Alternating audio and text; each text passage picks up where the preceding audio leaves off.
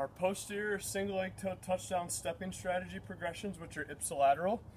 Right foot's the base foot, and right arm is the moving leg. So, reference point, so small step back, sagittal plane with the press, frontal plane, feet back together, same side rotational plane, sagittal plane,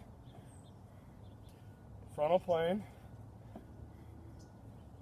transverse plane, and again, common shoulder to overhead presses, frontal, same side, rotation,